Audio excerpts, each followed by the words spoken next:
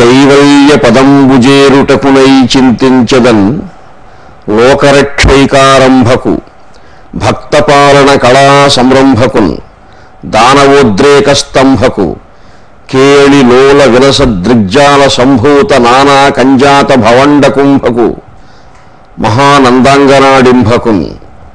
ఈ వృత్తాంతాలన్నీ కూడా ద్వాపరయుగంలో ద్వారకానగరం కేంద్రంగా ఆ లీలా విశేషాలు లీలా విభూతిని పరమాత్మ నిర్వహిస్తూ ఉన్నాడు. ఈ లీలా కైంకర్యాలని కూడా నారదాది మహర్షులు మాటిమాటికి వస్తారు ద్వారకా నగరానికి. మాటిమాటికి చూచిపోతూ చూసిపోతూ ఉంటారు. ఇవన్నీ వింటూ ఉంటారు ఆనందిస్తూ ఉంటారు. ద్వారకా నగరంలో కృష్ణ భగవానుడు ఆయన అక్కడ నెలకొని ఉన్న తరువాత ఎక్కువసార్లు ఆ అంతఃపురానికి వచ్చిన మహర్షి ఎవరంటే నారద మహర్షి. ఎక్కువ మాటి మాటికి ఇంచుమించు వారానికి ఒకసారి వస్తుంటాడేమో ఆయన నారద మహర్షి. ఒకసారి పదునాలుగు వేల జీవనాయికలు ఎనిమిది మంది రాణులు అందరిళ్ళకు వెళ్ళాడట నారదుడు. ఎక్కడున్నాడో స్వామి చూద్దాం ఎక్కడున్నాడు అంటే అందరి చోట ఉన్నాడు. అందరిలో కాపాడ్డాడు. ఈ పరమాత్మ ఎక్కడైనా ఉన్నాడే. ఈ పరమాత్మ లీలా విభూతిని ఎలా వర్ణించాలి? ఈ విరాన్మూర్తి యొక్క తత్వాన్ని అనంతమైనటువంటి మహామహిమోపేతమైనటువంటి ఈ విన్యాస విలాసాలని కూడా ఎలా అర్థం చేసుకోవాలని నారదుడు పులకించిపోయాడు. కాబట్టి అన్ని చోట్ల ఉన్నాడు కాబట్టి పరమాత్మ పరమాత్మకు నచ్చినప్పుడు భక్తులతో ఆడుకుంటాడు ఆయన. దేవూసులు ఆడుతాడు పరీక్షిస్తాడు ఎన్నో ఆటలు సాగిస్తాడు. అలాగే పరిణతి పరిపక్వం పొందినటువంటి జ్ఞానులు భక్తులు కూడా పరమాత్మను ఆటబట్టించే ప్రయత్నం చేస్తుంటారు అప్పుడప్పుడు. అలా ఈ నారద మహర్షికి మనసులో ఒక కోరిక కలిగింది. హఠాత్తుగా దిగాడు ఒకరోజు. ధవలాంబుజ నేత్రుడు రుక్మిణీకాంత గృహంబులోన మృగాయత నేత్రుల గొల్వ జూదం అత్యంత వినోదకీయుడివి అడుచునుండగన అద్భుతంబుగన్. రుక్మిణీదేవి మందిరంలో ఉన్నాడు భగవానుడు కృష్ణుడు. రుక్మిణీదేవి ఆమె చెలికెత్తలు అందరూ కూర్చోన్నారు. రసవత్రంగా జూదం ఆడుతున్నాడు. పాచికలాడుతున్నాడు కృష్ణుడు. ఆ సమయంలో వచ్చాడు నారద మహర్షి.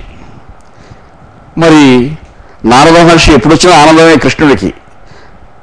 వచ్చిన ఉనిపతి ఎదురుగా వచ్చి నమస్కృతి నర్చి వెంటనే రుక్మిణి కృష్ణుడు లేచి ఎదురుగా వచ్చి నారద మహర్షిని స్వాగతం చెప్పి తీసుకొని పోయి ఒక ఆసనంపై కూర్చుండబెట్టి అర్ఘ్యపాద్యాదులు సమర్పించారు.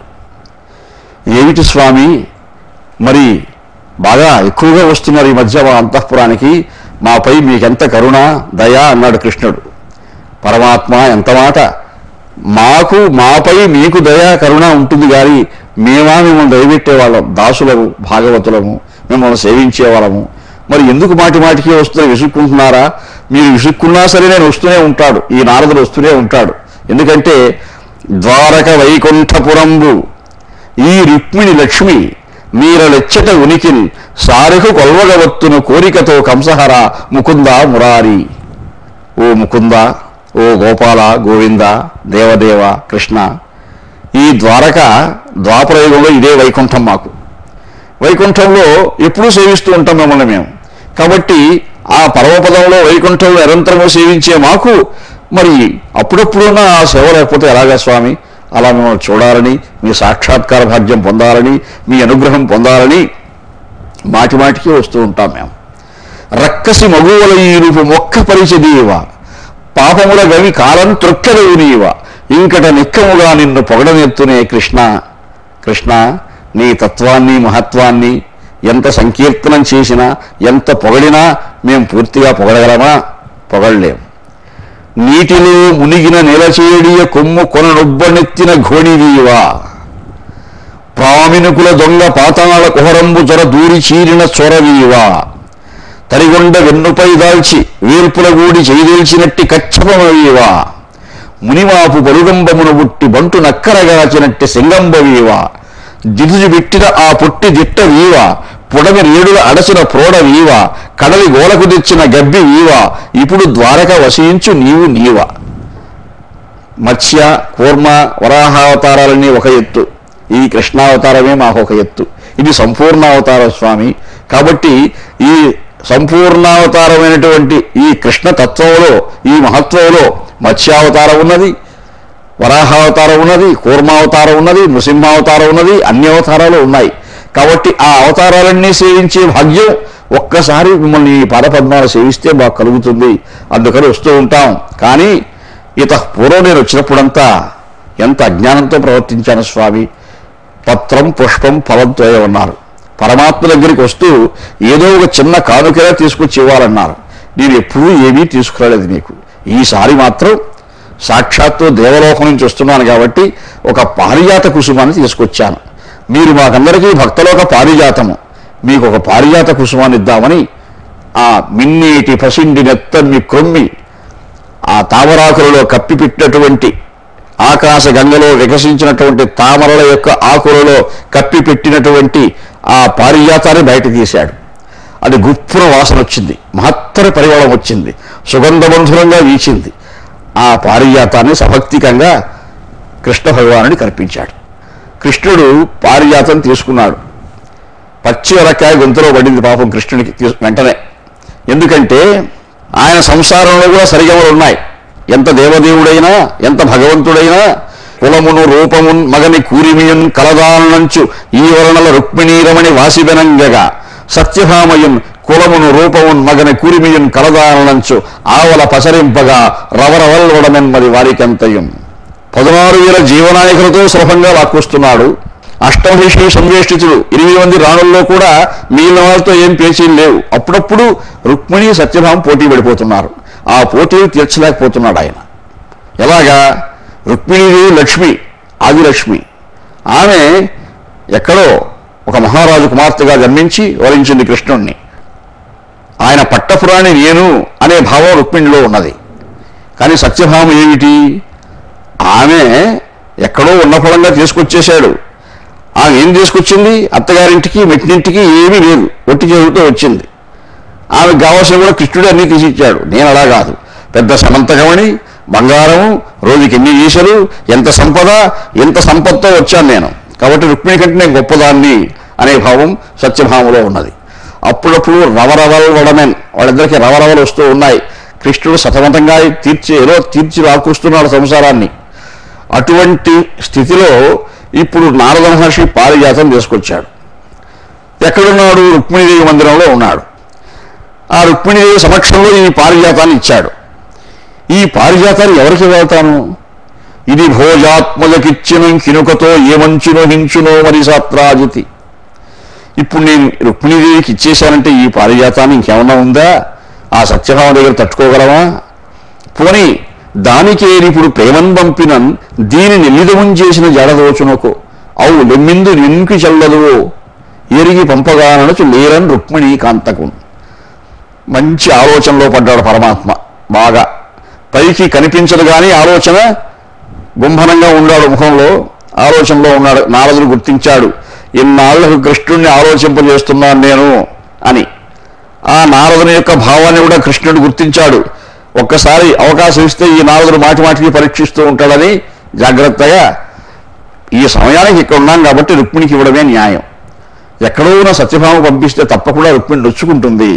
పట్టపురాణి అందులో అని ఇది పెద్దగా ఆలోచించకుండా రుక్మిణికి ఇచ్చేశాడు.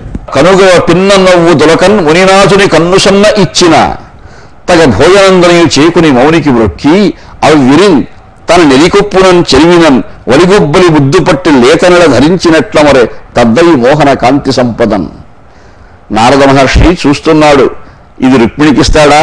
సత్యభామ పంపిస్తాడా? ఏం చేస్తాడు ఈ కృష్ణ భగవానుడు చూడాలి అని చూస్తూ ఉన్నాడు ఆయన గమనిస్తూ ఉన్నాడు నారదుడు.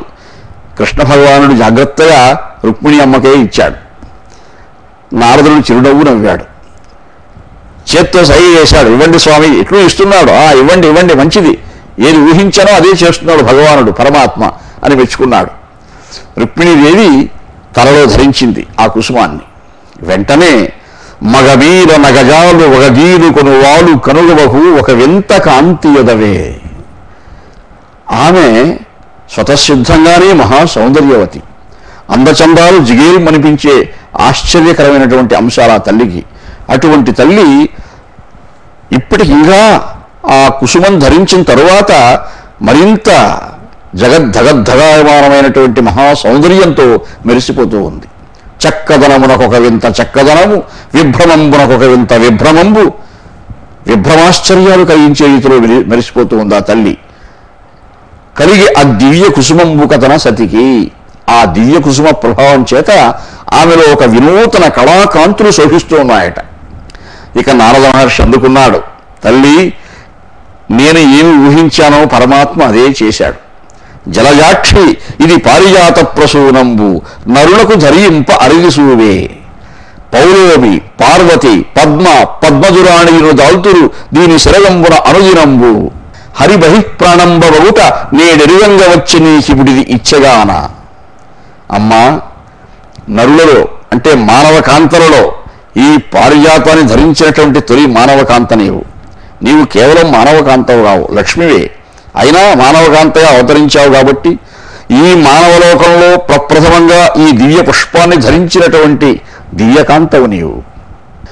ఈ పుష్పాన్ని ఏ ఇంద్రుని యొక్క రాణి పార్వతి అటువంటి దివ్యస్త్రీలే ధరిస్తారు.